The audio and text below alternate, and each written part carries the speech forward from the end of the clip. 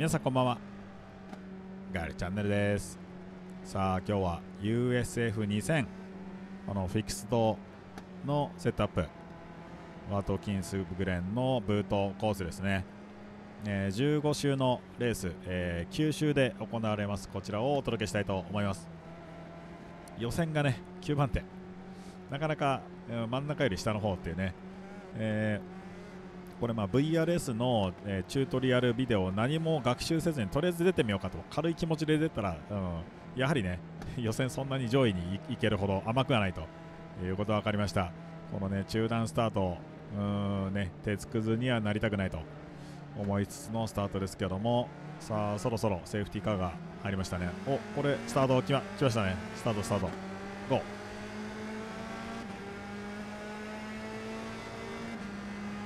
さあ後ろの後ろの右側来てますね。これはサイドバイサイドで。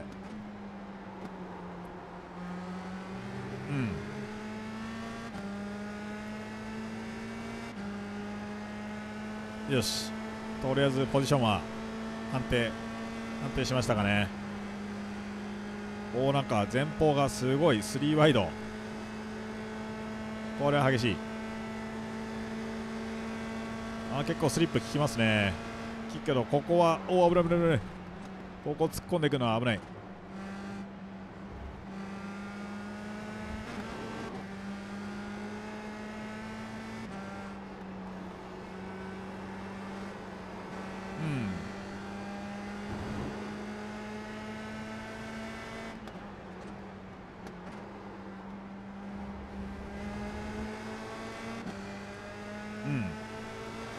もしかしたらこの前を走るリアムさん。大丈夫かな？おおあ今軽く当たりましたね。このリアムさんは遅い人なのかもしれない。これはこれは抜いておきたいけどもなかなか抜けない、うん、結構ねライン取りが甘い感じしますよね。これはまずい。前の集団から離れていってしまう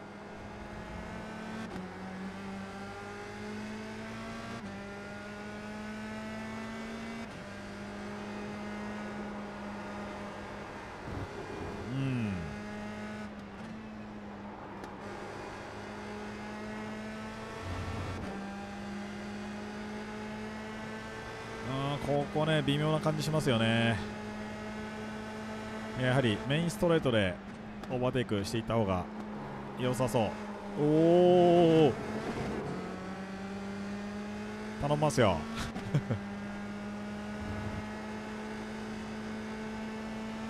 これはうんちょっとねちぎられつつありますね。さあ後ろのフェデリコさん。もう0.7秒。なんかフェデリコって美味しそうな名前ですね。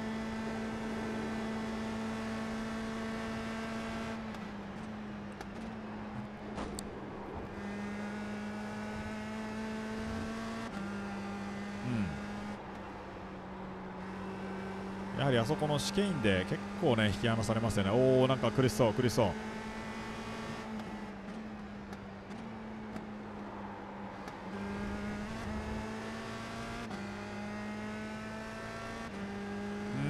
これはね前の集団とはもうだいぶちぎられつつありますのでうんまあ焦ってオーバーテイクしてもちょっとね追いつくのがしんどそうなのでもう少しじっくり攻略するモードでいきますかね、まあ、いずれねこのボロが出るんじゃないかなっていうドライビングしてますよね。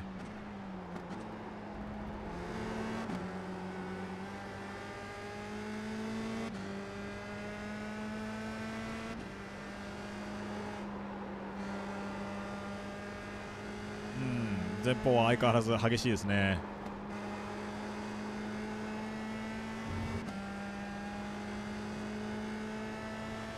激しいですね。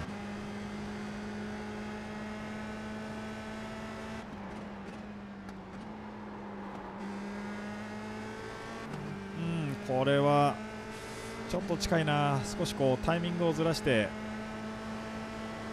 このいい感じでオーバーテイクできるように。あこれイン側開けてくれましたね。うんよしよし。それでいいんですよそれで。よしオーバーテイクできました。うー。あ跳ねると怖いですね。ここのね、えーターン5アウターループ。これがね後ろのリアムさん今一つこう攻めきれてない感じですね。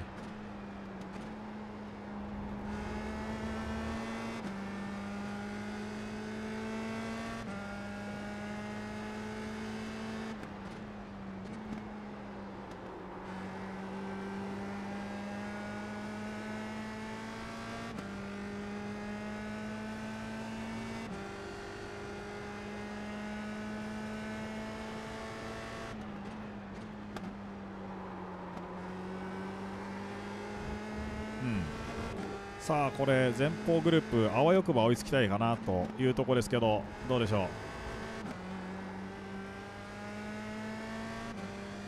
う？うん後ろのリアムさんもまだ8つの目は死んじゃいない。これは終わってない感じ。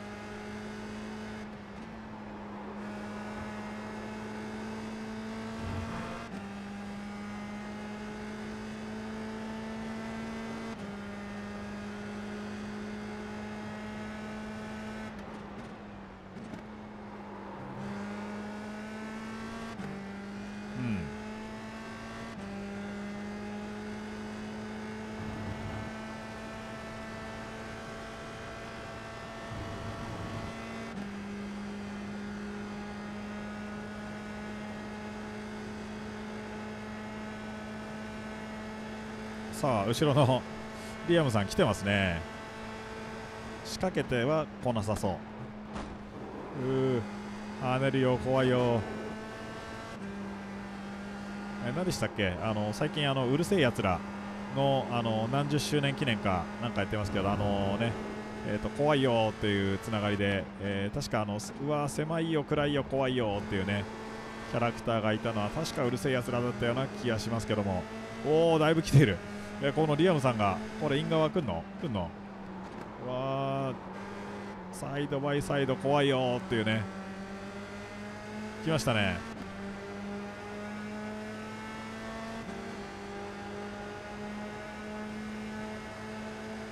うん、しゃあない、これはまたじっくりですね。もうやっぱり前のグループに追いつくの結構厳しそうですね。さあ、そして後ろから美味しそうなフェデリコさん来てますね。おお大丈夫？大丈夫。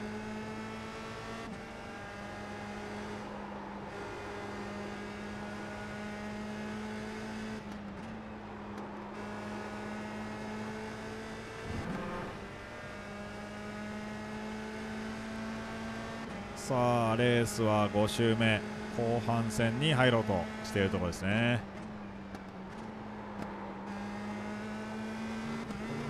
うー。いかん。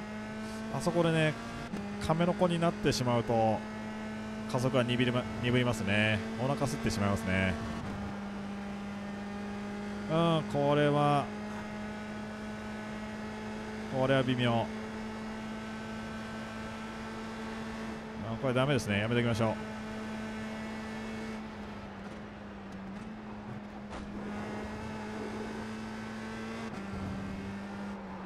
おーおーおーおー危ない。危ない。いやー知らなくてよかった。いや今のでね結構ギャップ空きましたね。今のミスは痛いですね。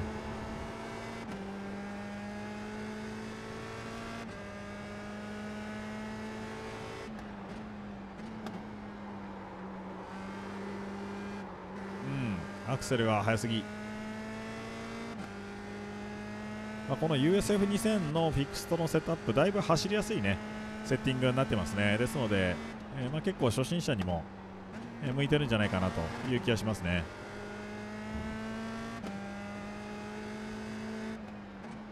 本当ね USF2000、えーリリースされたての頃はこんな難しい車走れるのかなと思ってたんですけどだいぶこのね、えーアイレーシング標準のセットアップが煮詰まってきたのかなっていう印象はありますね。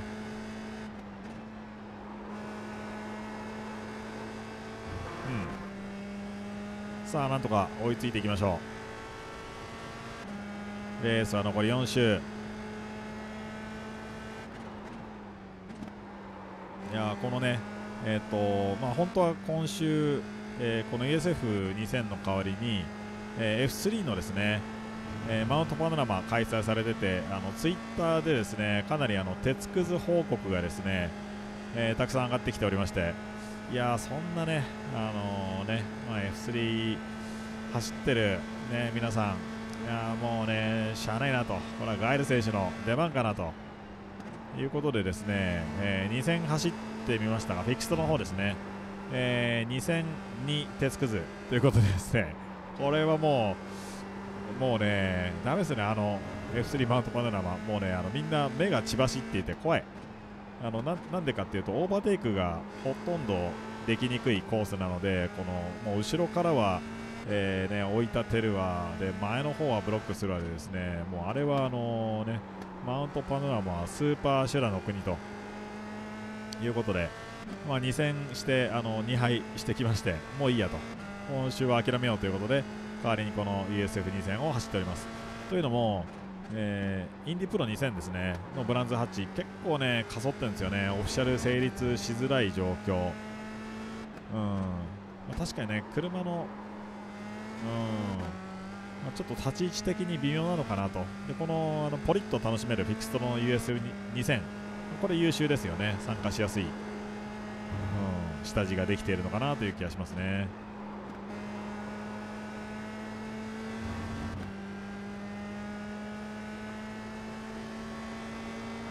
さあレースは残り3周。ようやく再びリアムさん再び。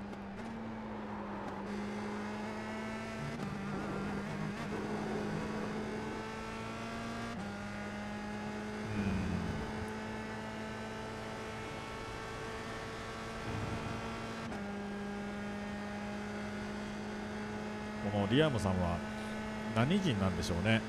なんとなくサルサリサリバンうん分からんです まあこの時間帯、えーと、夕方から夜にかけての時間帯なので、まあ、結構ね東南アジアの人が、ね、多いことを考えると意外とねタイ人っていうタイ王国ですねの人なのかもしれないというふうにね思いますね。タイは結構あのサイアムとかあのシラチャータとかそういった発音のでリアムさんも、うん、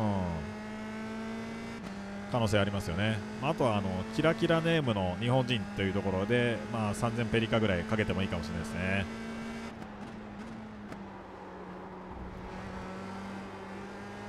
確かね実際そういう女の子がいらっしゃいましたよね。あの街頭インタビューかなんかテレビのインタビューであの大人って何？って聞かれたらあの自分の子供にリアムとかいう名前を付けない人っていうですねだいぶ辛辣なコメントをされている小学生の女の子がいらっしゃいました。その子が確か リアムさんだったような気がしますね。さあなかなかこのリアムさんペースが上がって追いつけない。残り2周。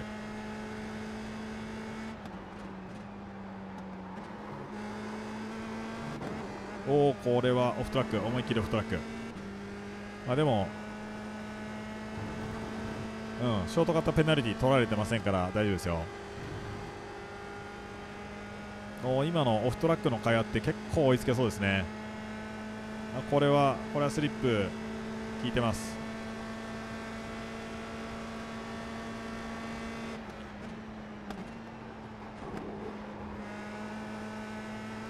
こ負けてますね。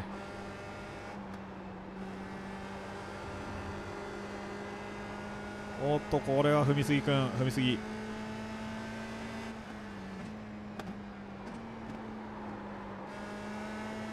だいぶこれ頑張ってますね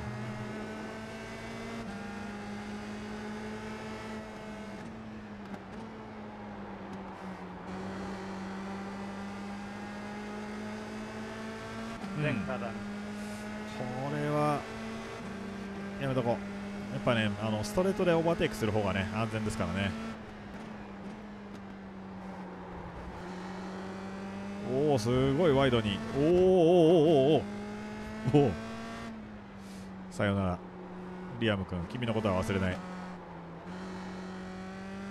いやびっくりしましたね。あれはああの結果的にはじっくり作戦成功ということでですね。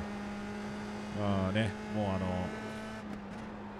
血気盛んな若者と違ってこの大人の大人の落ち着きを見せたい。ね。またの名を、えー、疲れたおっさん戦法と言ってもいいかもしれません。さあそしてファイナルアップ。ポジションが8番手まで上げてきましたね。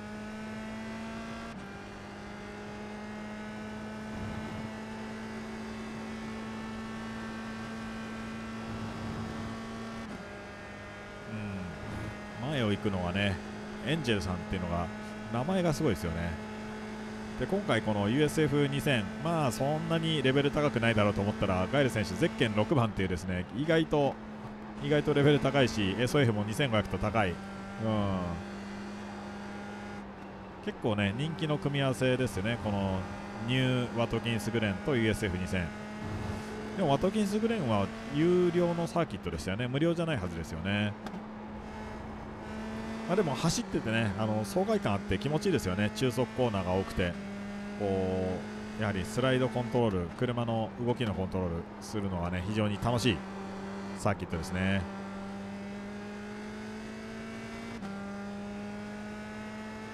うん、これがね、あのー、また別のサーキットでストップアンドゴーみたいなサーキットになるとなかなかその楽しさも見出せないのかなと思うんですけどこのワトキンスグレンはこのね車の横 G を十分感じられるコーナーが多くてそこは楽しい要因の一つかなというふうに思います。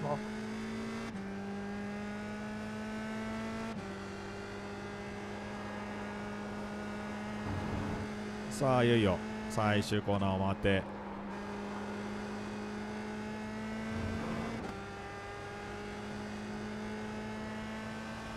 フィニッシュいやいろいろありました